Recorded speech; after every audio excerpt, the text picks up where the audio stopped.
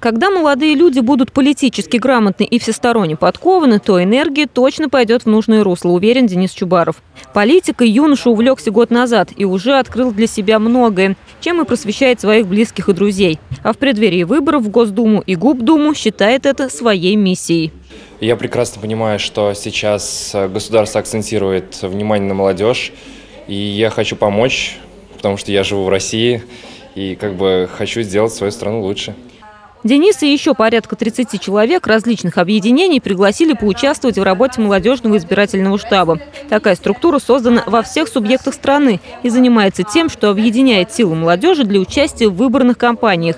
Причем выступать молодые люди могут как и в качестве кандидатов, так и в качестве их помощников. Прежде всего э, мы делаем упор на лидеров общественных молодежных организациях, на лидеров э, в общественно-политической сфере, то есть э, те, которые активно работают на территории Самарской области, у которых есть, соответственно, опыт в выборных кампаниях, у которых есть своя команда.